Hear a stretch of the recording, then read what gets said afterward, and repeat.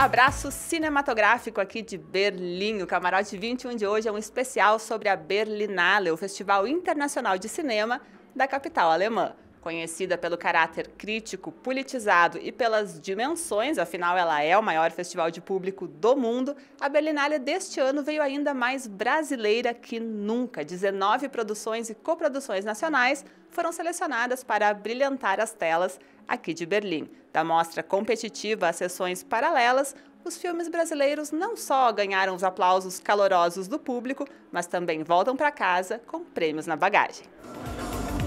O tapete vermelho teve glamour verde e amarelo nesta Berlinale. Todos os Mortos, dos diretores Caetano Gotardo e Marco Dutra, estreou na mostra competitiva do Festival Internacional de Cinema de Berlim. O filme, que se passa na São Paulo do fim do século XIX, retrata as transformações sociais e humanas de um Brasil pós-abolição da escravatura.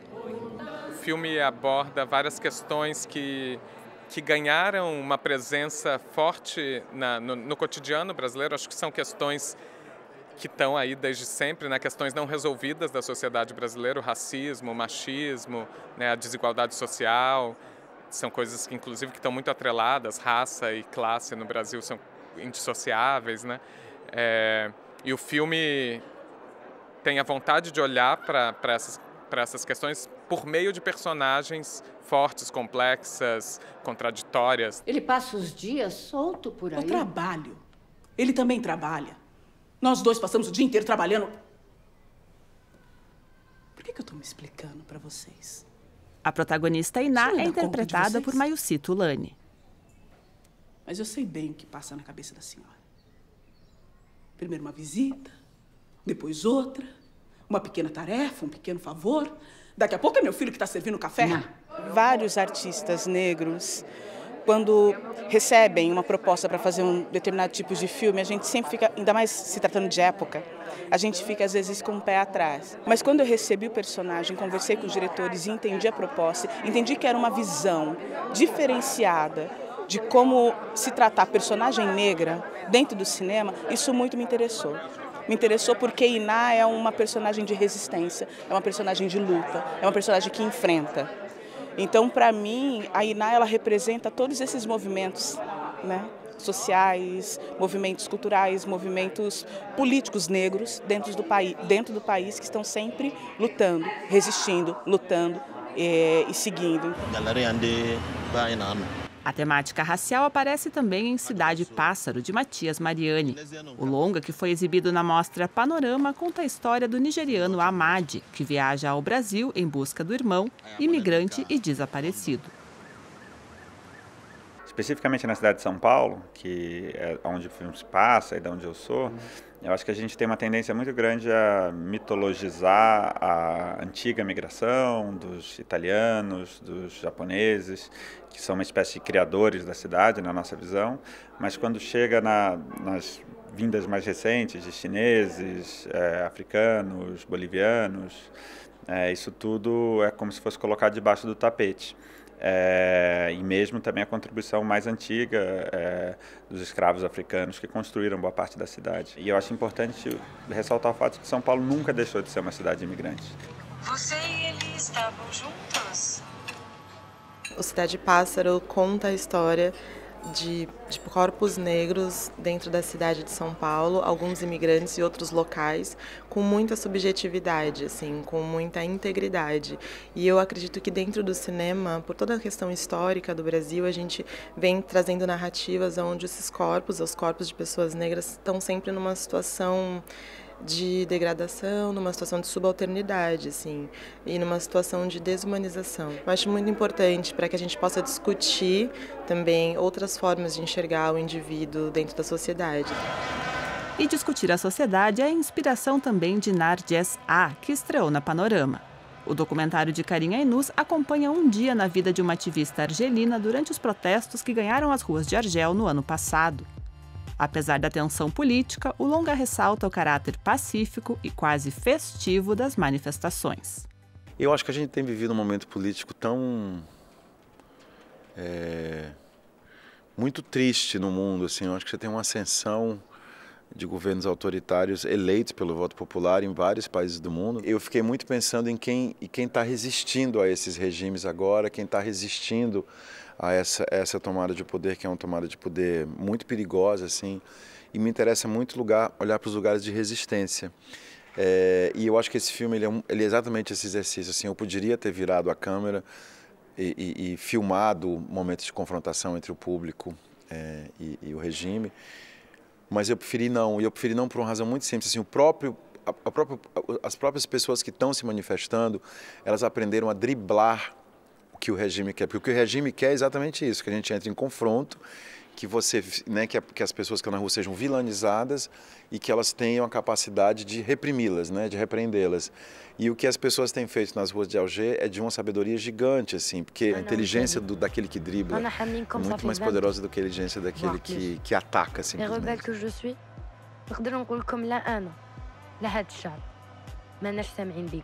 eu acho que andar nas ruas do Brasil hoje para mim é muito triste, assim.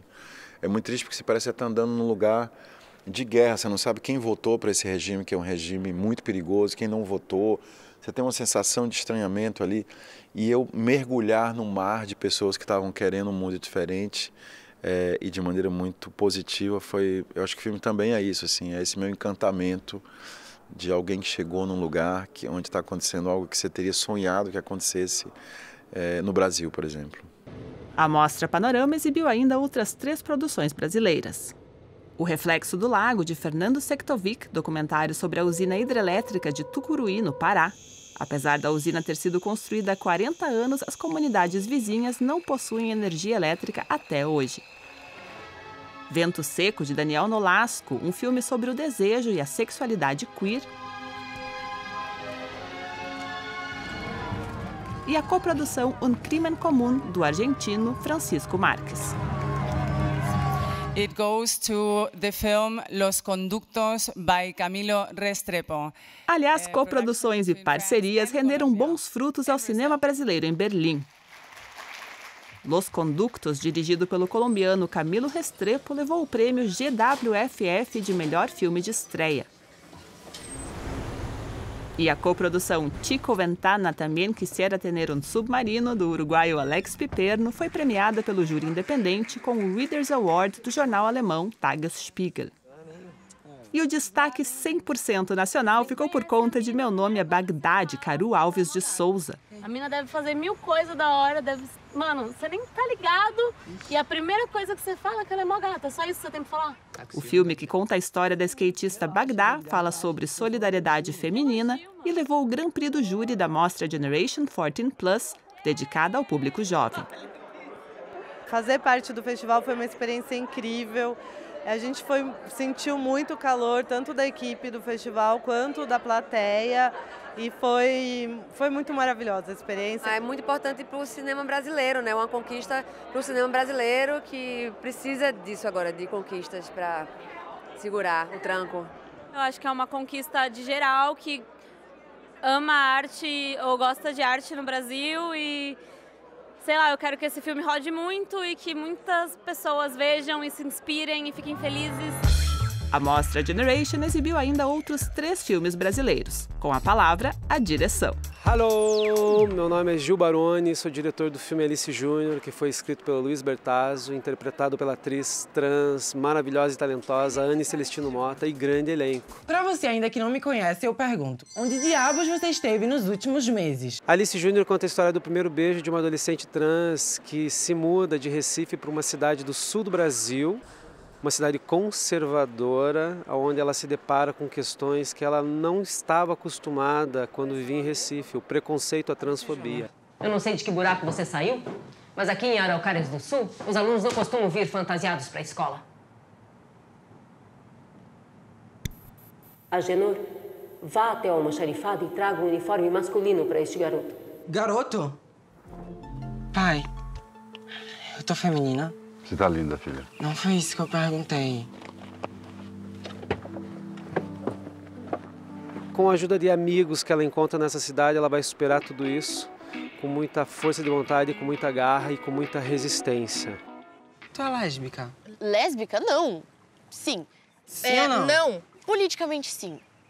Para onde eu olho, eu vejo o privilégio masculino. Eu gosto dos meninos, mas é que, sei lá, só de conhecer eles melhor já me dá 10 tipos de preguiça. Alice Júnior estreia aqui na Berlinale, estreia internacional, depois de ter passado por uma série de festivais no Brasil. E nós estamos muito felizes que Alice, esse corpo trans resistente, está aqui fazendo história. Vai, Alice! Vai, Alice! Meu nome é Júlia Záquia, eu sou diretora e roteirista do RAM, junto com a Ana Flávia Cavalcante, que também é a protagonista. É uma homenagem a todas as mães solteiras do Brasil que criam suas filhas com muito afeto e muita firmeza. São muitas mulheres na equipe, somos. Todas as chefes de equipe são mulheres. Direção, produção, roteiro, fotografia, som, direção de arte, montagem.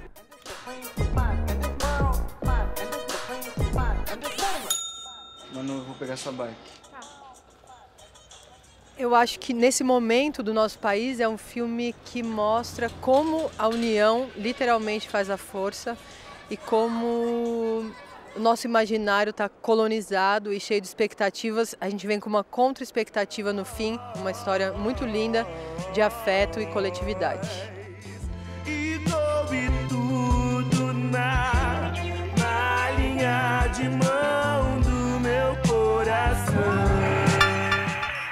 Olá, meu nome é Vinícius Lopes, eu sou diretor roteirista do longa-metragem Irmã, que faz parte da mostra Generation 14 Plus. É o meu primeiro longa-metragem como diretor roteirista, em conjunto com a Luciana Mazeto, também diretora e roteirista. E ela vai contar um pouquinho pra gente sobre a história do filme. O Irmã é um road movie que acompanha duas irmãs adolescentes. A mãe delas está morrendo e elas não têm outra opção senão ir atrás do pai que abandonou elas há muitos anos. E para isso elas têm que viajar até o interior do Rio Grande do Sul, para uma cidade um universo bastante conservador. A temática toda, ela, ela se desenvolve no drama familiar, mas a gente quis abordar muito nessas duas personagens a questão uh, do feminismo no momento que a gente estava filmando. Então essa personagem da, da irmã mais velha, que tem 16 anos, a Ana, ela é um reflexo disso, de todo esse ressurgimento do feminismo no, no Brasil. Então ela é guerreira, ela vai atrás das coisas, ela não se dá por vencida, não se dobra. E a irmã mais nova, a gente queria trabalhar uma utopia. A gente começou a imaginar como é que seria uma mulher que nunca foi ensinada a ter medo. A gente começou a acreditar que ela teria superpoderes. Então, ela seria capaz de fazer absolutamente tudo. E aí que a gente criou essas duas meninas que vão, e por isso o choque nessa cidade conservadora é tão forte. A gente vai ter que morar aqui.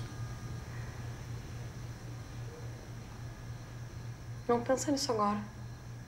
Eu estudo artes visuais, licenciatura, na minha faculdade. E o meu interesse de pesquisa maior é a representação adolescente no cinema. E especialmente no cinema brasileiro. E eu acho que o Irmã é um filme que eu gostaria de ter visto quando eu era mais nova.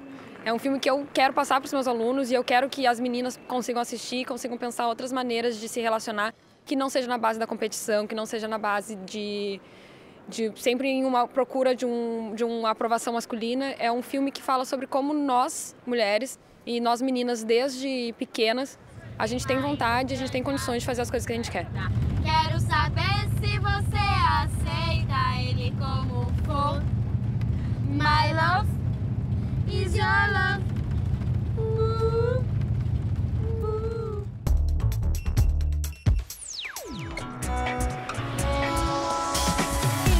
O Brasil fez história nesta Berlinale com uma participação recorde de 19 filmes. Um reconhecimento possível graças ao histórico de investimento público na indústria cinematográfica nacional. Uma política que atualmente vem sofrendo cortes drásticos. Acho que é muito legal comemorar os 19 filmes brasileiros na Berlinale, mas é importante entender que o cinema ele é uma roda com uma inércia muito grande. Então, o fato de desses, é, desses métodos de financiamento terem sido interrompidos faz com que a, a, essa roda tenha diminuído de velocidade e eventualmente vai parar em breve. Mas esse buraco vai ser sentido em 2021, 2022. É, por enquanto, a gente ainda está vivendo da, do, da extrema dedicação de muitos governantes, desde o Fernando Henrique Cardoso, passando pelo Lula, passando pela Dilma, pessoas de posições políticas totalmente diferentes que geraram essa, essa estrutura que permite que filmes como a Cidade Aqui Dentro esteja aqui em Berlim. Já na abertura do festival, Kleber Mendonça Filho, aclamado diretor de Bacurau e Aquários e membro do júri este ano, expressou sua preocupação com os rumos do cinema nacional. Brazilian cinema has come a long way. It has a long history. Uh, it has, it's very diverse, and it's the result of 15, 20 years of very hard work from all sides of the Brazilian film industry. So this is exactly what's being uh, dismantled and destroyed right now and sabotaged right now. O que a gente vem percebendo agora com a atual gestão, com o atual governo, é um boicote às fontes de financiamento do cinema, né? Porque o cinema incomoda, porque o cinema faz as pessoas pensarem, o cinema ele promove reflexão, questionamento, e o que a gente percebe que essa gestão, que esse desgoverno menos quer é reflexão, é questionamento. Né? Eles determinam o que querem que seja a família, o que querem que seja as relações familiares, o que, quer que, se, o que, que eles querem que seja a política, como as pessoas têm que é, lidar com seus corpos, só que a pluralidade fala mais que isso. Mas apesar dos desafios, a mensagem brasileira que fica em Berlim é de resiliência. Even if if we're going through a tough moment, I think it's a great moment to make films. particularly if you're very young. We have the technology and we have a country which is even more than the usual. It's full of contradictions and full of uh, conflict and full of uh, drama right now. And uh, yeah, I'll and I'll just uh, keep making my films and, and traveling and and and uh, speaking my mind. Para cada quilo de ignorância, de desinformação, nós viremos com uma tonelada de amor, informação, carinho, parceria, acolhimento, sabe? Então esse é o recado que Berlim dá, Berlinale dá para o mundo. Olhe, olhe a pluralidade dos filmes que vêm do Brasil. Todos nós estamos aqui gritando por liberdade, democracia, contra a censura e resistência! O Camarote 21 vai a um rápido intervalo, logo mais a gente volta aqui de Berlim.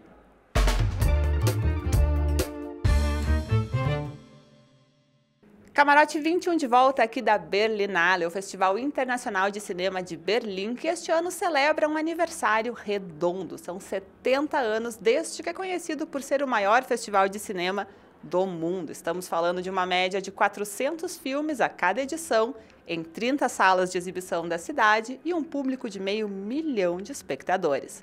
É muito cinema e muita história para contar. Uma breve história do Festival Internacional de Cinema de Berlim.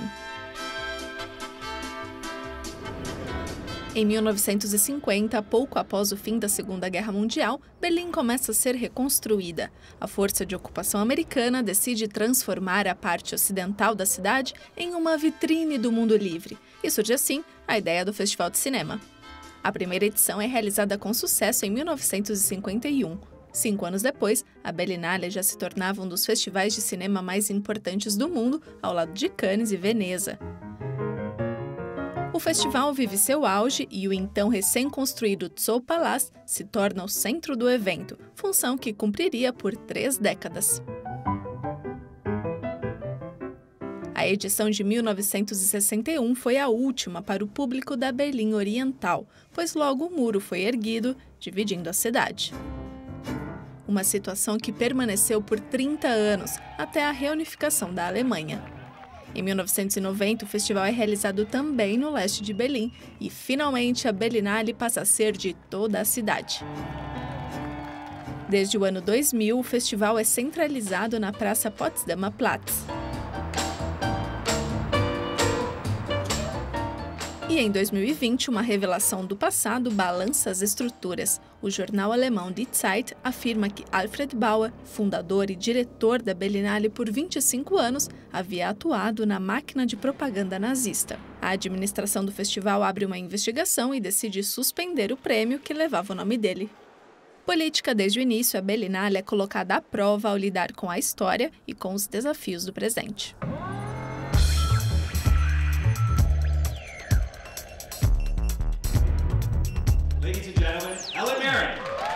Esta edição da Berlinale homenageou uma das rainhas do cinema, Ellen Mirren, que tem uma lista bem diversificada de personagens marcantes.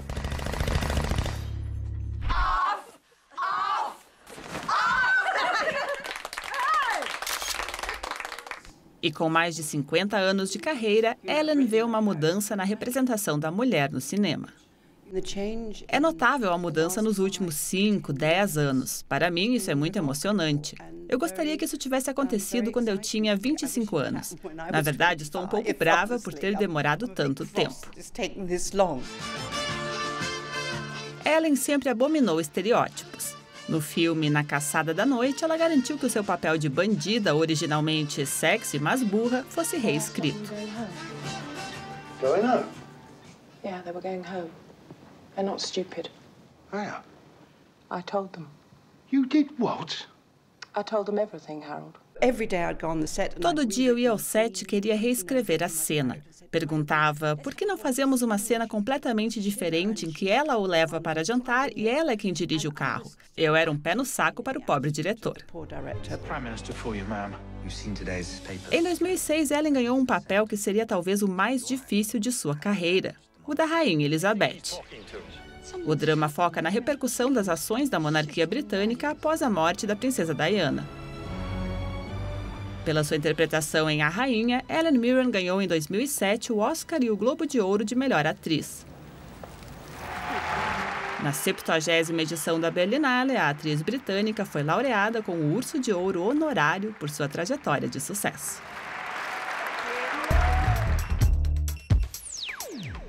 Reflexão crítica e engajamento social são marca registrada do Festival de Cinema de Berlim. E nesta 70 edição não poderia ser diferente. O Urso de Ouro 2020 não só premiou um trabalho de qualidade inquestionável, mas também mandou uma mensagem internacional contra a censura e a opressão de regimes autoritários.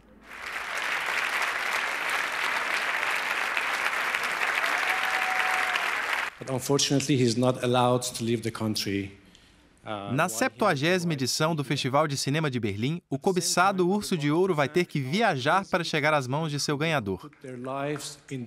Crítico ferrenho do regime islâmico em Teherã, o iraniano Muhammad Rasuluf, diretor de There's No Evil, não pôde ir a Berlim pois não tem permissão para sair do Irã.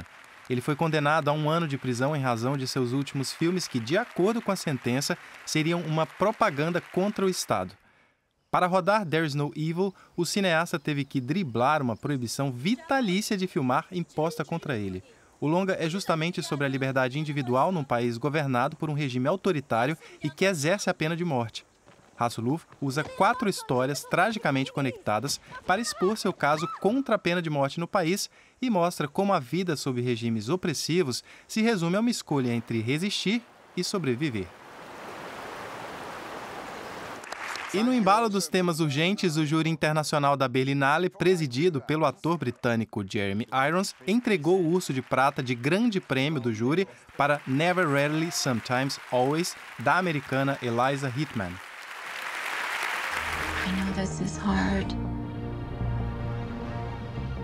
O drama conta a história de duas adolescentes do interior da Pensilvânia que viajam a Nova York em busca de ajuda para pôr fim a uma gravidez indesejada. No discurso de agradecimento, a cineasta, que passou muito tempo com funcionários de clínicas de aborto, disse: São médicos, enfermeiras e assistentes sociais que prestam um grande serviço ao nosso país, protegendo a vida das pessoas que buscam ajuda. Mas, ao lado dos destaques humanitários, uma escolha causou indignação nesta Berlinale. Dal Natasha, fruto de um experimento controverso, levou o urso de prata de melhor contribuição artística gemacht werden sollte. Dal Natasha foi gravado em uma cidade cenográfica soviética. 400 não atores foram convidados a passar três anos vivendo como se estivessem sob o regime totalitário stalinista, mas sem roteiro. O cinegrafista alemão Jürgen Hügers, ganhador do prêmio, filmou os participantes do projeto em 700 horas de material.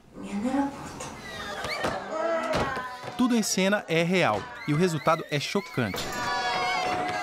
Dal Natasha apresenta cenas fortes de violência, especialmente contra mulheres, e evidencia como pessoas são capazes de atos perversos quando se sentem legitimadas a encarnar personagens autoritários. Jornalistas russos expressaram repúdio à exibição do filme em uma carta aberta direcionada à direção do festival. Apresentado pelo cineasta brasileiro Kleber Mendonça Filho, um dos membros do júri internacional, o Urso de Prata de melhor diretor foi para o sul-coreano Hong Sang-soo pelo filme The Woman Who Ran.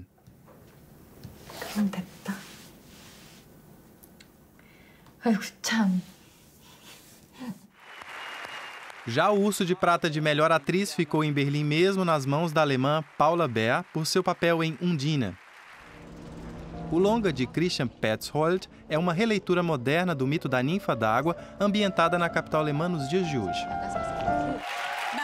E se confirmando como um dos favoritos ao prêmio de melhor ator, o italiano Elio Germano conquistou o Urso de Prata pela atuação em Volevo nascondermi. A obra é inspirada na história do pintor italiano Antonio Ligabue, um dos maiores nomes do gênero naif e que foi considerado louco durante toda a sua vida.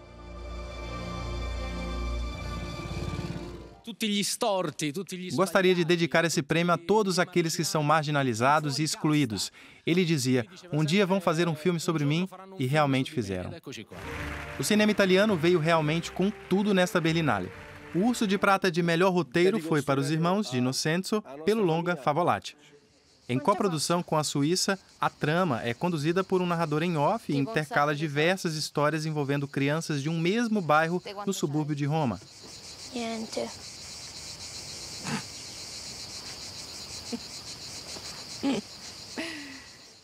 Já o troféu Urso de Prata 70 Berlinale foi para a produção franco-belga E Facile Historique sobre três famílias vizinhas e os efeitos do admirável mundo das novas mídias sociais.